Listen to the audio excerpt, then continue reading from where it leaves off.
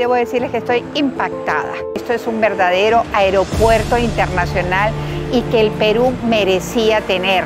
Felicitaciones a los que han tomado la decisión de sacar adelante este proyecto porque realmente está espectacular. Al viajero, al próximo viajero, a partir del próximo año se va a quedar anonadado de ver por fin estas instalaciones con las que hoy cuenta el nuevo Aeropuerto Internacional Jorge Chávez. Ocitran, contigo en tu ruta.